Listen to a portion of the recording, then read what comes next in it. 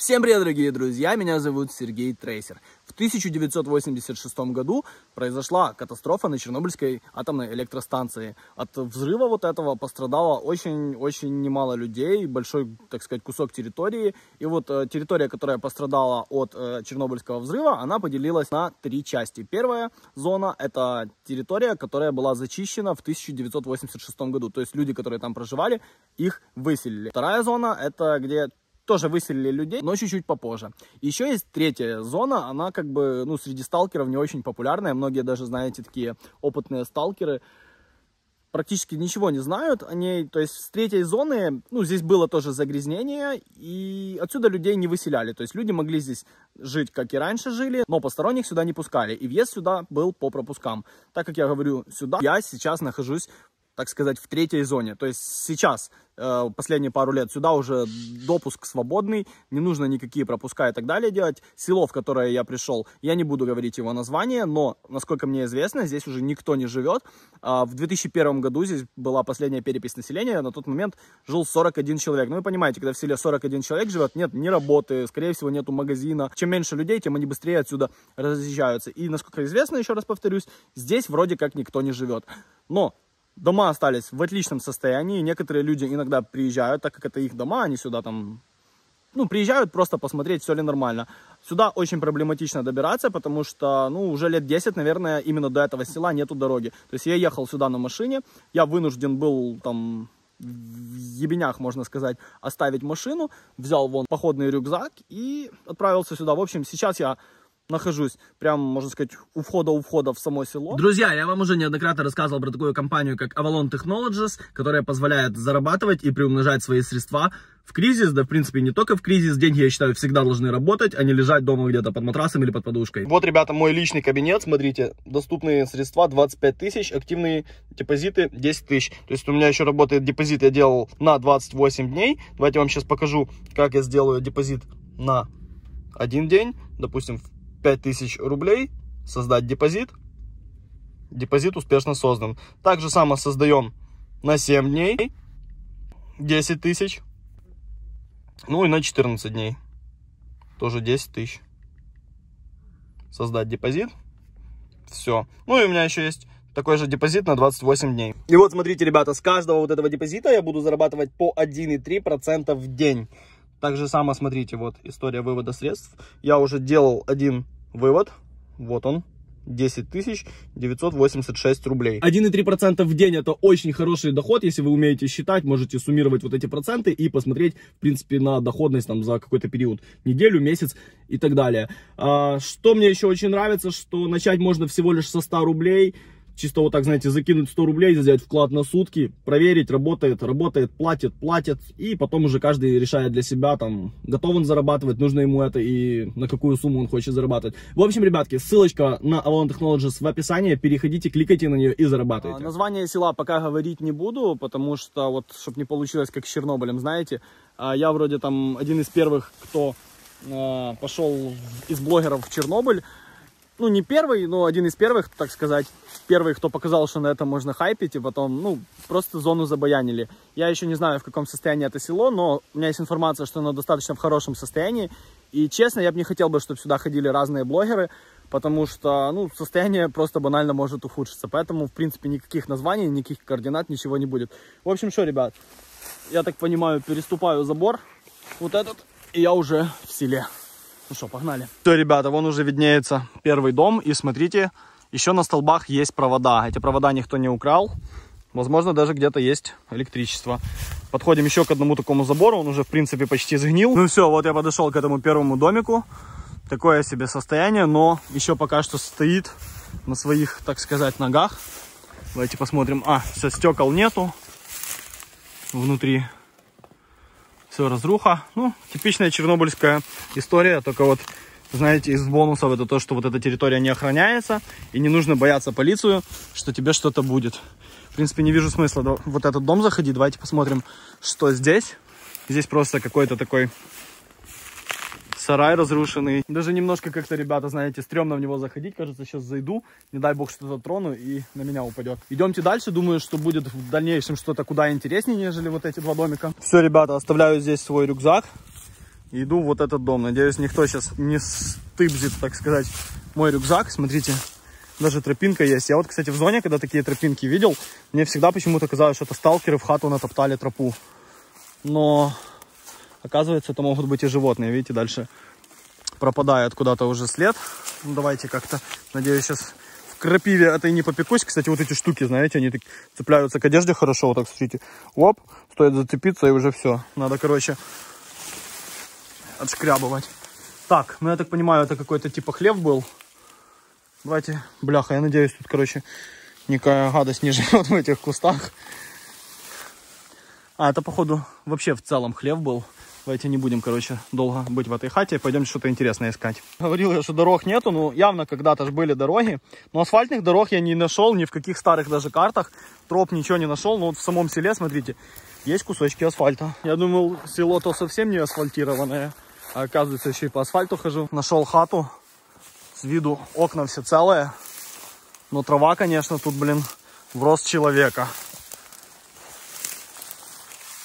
Пока что это самая интересная хата. Я еще был возле некоторых. А, он, видно, кстати, даже замок висит. Давайте попробую вам увеличить, может вам видно будет. Замок висит. Окна все визуально целые. Возможно, даже за этой хатой кто-то следит. Я еще, кстати, вижу замок такой относительно новый, но уже ржавый. А, и, ну, наверное, кто-то сюда периодически приезжает. Как минимум лет пять назад его точно повесили. Вон еще, кстати, вижу хату. Давайте вам покажу. Так, только знаете что? Вот смотрите, крапива выше, чем рост человека. Наверное, брошу здесь пока что свой рюкзак. Пойду похожу, поищу другие хаты. И ну, сюда в любом случае вернусь за рюкзаком и потом уже исследуем эту хату. Эта хата пока что самая такая, знаете, живучая среди тех, что я видел. Но она закрытая, кто-то ее все-таки закрыл. Возможно, сюда даже кто-то приезжает. Хотя видно, что такой бурьян зарос, что очень много лет здесь никого не было. Короче, давайте еще походим. Если ничего интереснее не найду, придется сюда вернуться и будем искать какой-то полулегальный способ, чтобы сюда внутрь попасть. Все-таки не зря я такой путь проделал. Ну, короче, все, идемте, сейчас посмотрим, что-то поищем, и если не найдем, то вернем. Ну, в любом случае, вернусь за рюкзаком. Смотрите, ребята, что нашел. Сельский магазин. Здесь, конечно, все куда порасчищенней, но видно, что он тоже не работает. Там замок я вам потом покажу. О, кстати, открытый, смотрите. Давайте зайдем посмотрим, что там.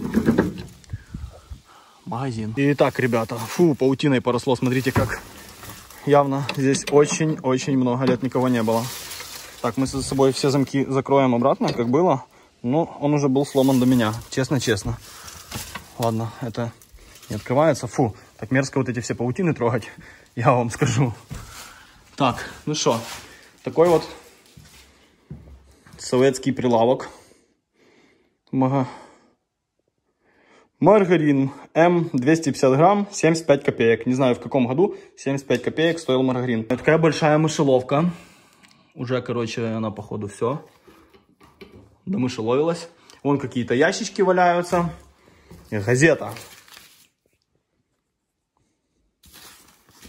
Интересно, какой год? 5,96. Возможно, это 96 год. Конвертик такой, не подписанный. Здесь, наверное, знаете, и магазин, и почта сразу был. Потому что село само по себе не очень большое. Да еще и, знаете, там практически никто не жил. Вот это, кстати, где-то, может, начало 2000-х такие ящики были. Да и сейчас, наверное, такие ящики есть. Но еще вот я же говорил, в 2001 году здесь 41 человек, если не ошибаюсь, был. Такая советская бутылка уже лопнутая. Коробочки какие-то. Давайте посмотрим, что в них. Пустые полностью коробочки. Ну, короче, такой вот прилавок. Здесь, походу, какое-то подсобное помещение было. Что, идемте на выход. Ну что, ребята, вижу еще один домик. Здесь, кстати, да, слава богу, таких страшных кустов нету. Но они есть, но ну, они более проходимые. И крапивы тут меньше. Смотрите, как окна заросли. Виноград или что это? Очень красиво так смотрится. Так, тоже смотрю, стекла целые. Было бы здорово туда попасть. Ну, если что, в принципе, я смотрю такие стекла, знаете, ребят, я могу ножичком его демонтировать легенько. И ничего плохого там внутри делать не буду. И потом обратно так же само все застеклить. А вон, кстати, нормальная тропинка была. Я кустами, кустами. Закрыто. Ну, ладно, ломать не буду. Давайте пройдемся, может еще где-то второй выход есть. Потому что в сельских таких старых хатах часто бывает, что, знаете, там один, второй выход. Да, вон есть дверка открытая. Кстати, вот тропинка есть какая-то. Может, даже людишки какие-то иногда тут ходят. Вон опять эти штуки. Я их столько уже сегодня нацеплялся. Вот, кстати, на гору выход. Ух ты. Печка разобранная. Печку, кстати, возможно, могли разобрать какие-то мародеры, потому что в печках достаточно много может быть металла. А еще, кстати, раньше, когда что-то строили, то в печку могли а, прятать там какие-то золотые монеты, еще что-то такое. Вот, смотрите, такая кассета. Что, наверное, советских времен где-то, потому что, ну, я не знаю, там многие зрители, может, уже не застали кассеты, кто еще помнит, то, ну, как бы даже с виду для меня такая кассета кажется очень-очень такой, знаете, старый. Пластиковая стопочка, пробка от этого, как его, от счетчика, во. Кстати, это уже, наверное, где-то начало 2000-х, может даже где-то попозже. Я, к сожалению, не обладаю информацией, в каком году выехал последний житель отсюда. Вот какие-то иконы такие. Керосиновая лампа. Раньше, кстати, у меня у бабушки такая была, прикольная штука. И, кстати, сервант, мне кажется, у моей бабушки до сих пор такой есть, только он чуть-чуть получше состояние. Желатин швидко розчинний. Какой год?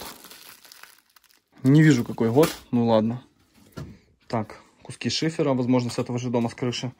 Сапоги резиновые. Да, смотрите, уже обои в сельской хате. В Чернобыле, именно там, где охраняется, такого не увидишь. Вот, кстати, дверь, которую я не мог открыть. Доски с пола сорваны, возможно, да, мародеры какие-то, что-то тут потыбзили. О, кстати, смотрите, кровать, стол. Это прям по чернобыльским меркам топовая хата. Единственное, что вот смотрю, пол такой подгулявший немножко. Возможно, кто-то тоже пытался выдрать вот эти доски.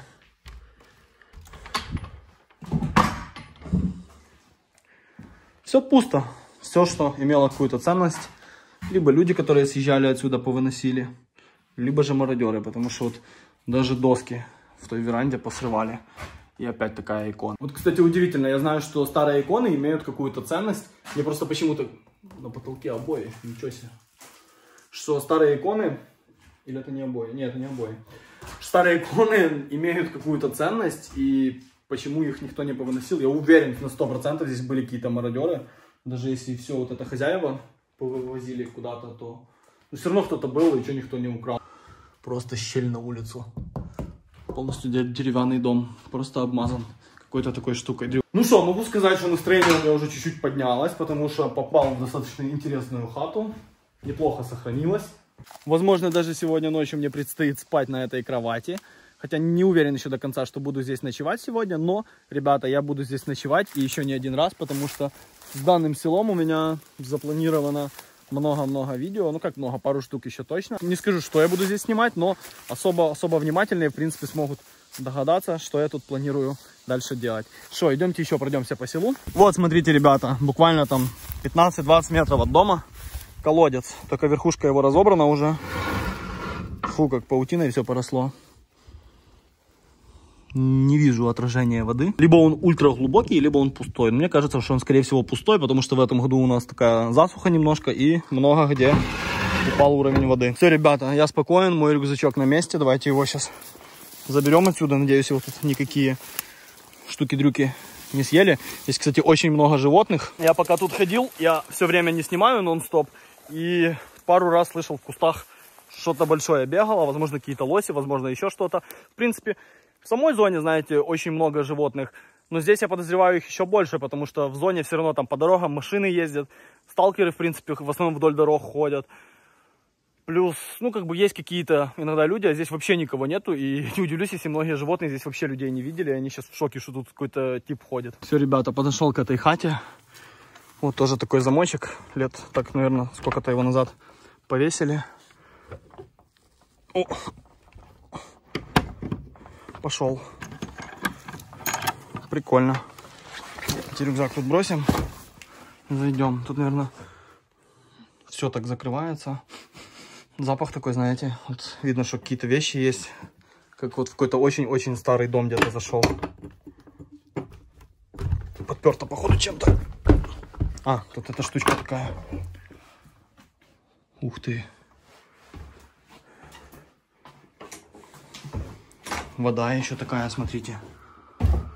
Ну, не знаю, современная, как минимум пару лет. Максимум ей может быть, наверное. Так, что у нас тут? Я вообще не удивлюсь, если здесь кто-то живет. Тропинки к дому никакой не было, так что здесь, наверное, никто не живет. Но мне кажется, очень не так давно здесь кто-то жил. Какая-то пенсионерка, либо пенсионер, наверное. Давайте такой краткий обзор сделаем. Хаты. Я не знаю, что тут комментировать. Вот палочка была, явно видно, что, знаете, какой-то старый человек жил. Опять такая икона.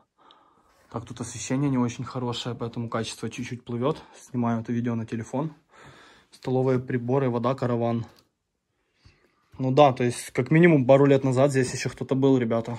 Здесь какие-то дровишки, смотрите. Печка. Можно затопить, наверное, вот какой-то такой типа сервантик маленький.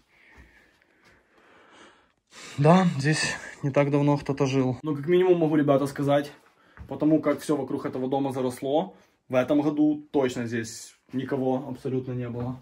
Так, тут еще есть одна комната. Давайте в нее зайдем, посмотрим. Видно сразу, знаете, вот эти такие белые следы.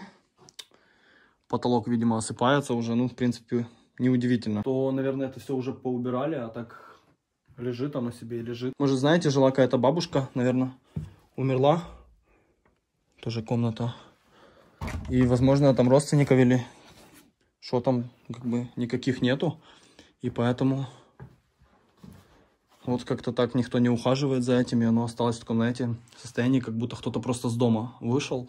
Просто вот немножко не убрано. Календарь какой-то. Непонятно за какой год. Ну, хрен его знает. За какой-то год. Календарь. Давайте еще, может, там перелистнем что-то, понятно будет.